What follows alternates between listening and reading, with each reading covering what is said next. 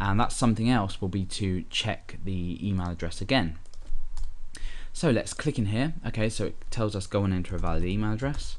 I'm going to enter a valid email address and come away. Then I'm going to click back in and you can see that we don't have the same message. Instead what we want to do is something else and that is to check the email as well. So we're going to leave this for now. Uh, I'm just going to change this text here to say um, check email address valid. Because what we want to do is if the user has entered something into here and then they click back into it we want to revalidate it. It doesn't matter whether they've entered a, uh, a valid or for example an invalid email address we want to revalidate it so we can tell the user again if the email address is invalid or if it's valid.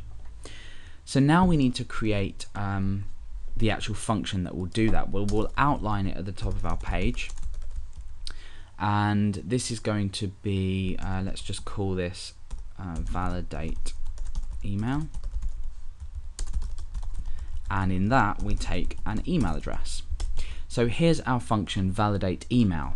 Now it's going to call it here. Um, it's going to call this function just here. So this this bit later on when we've actually filled in the block in here will equal or will call the validate email function also, when we have a key up event, we also want to call the validate email function as well. So we've appended like we have with blur the key up function or the key up event handler onto the end of here. And inside we want to go ahead and create a function.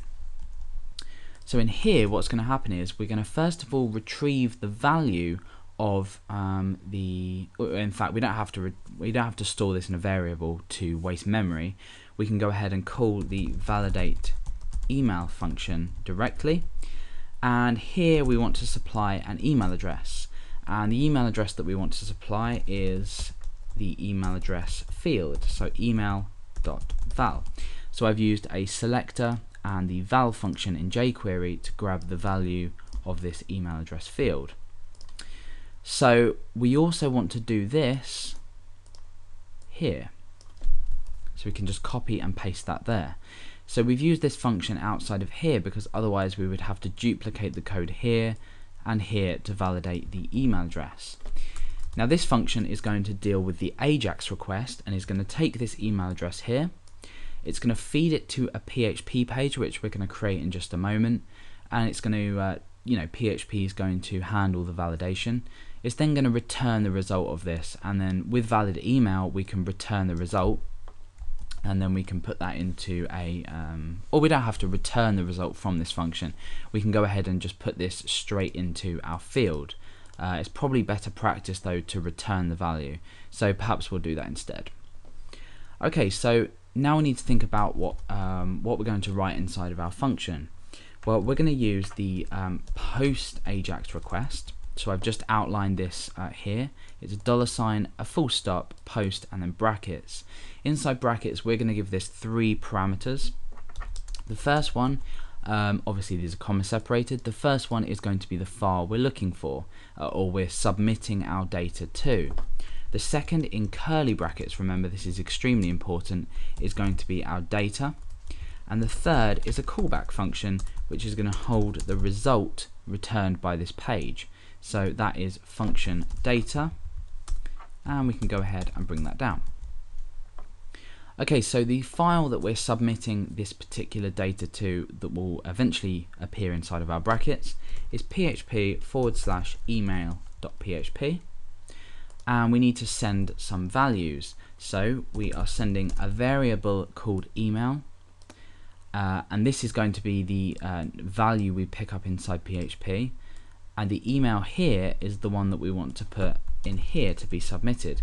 So I've used the same variable name here and here, but not to be confused. This is the name of the variable that we're sending, and this is the value retrieved from our function.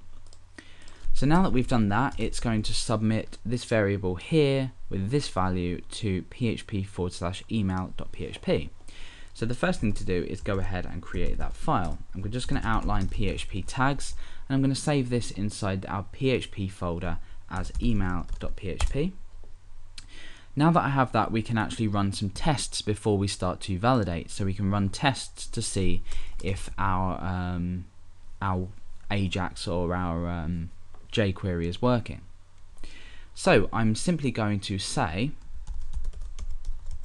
email feedback dot text data.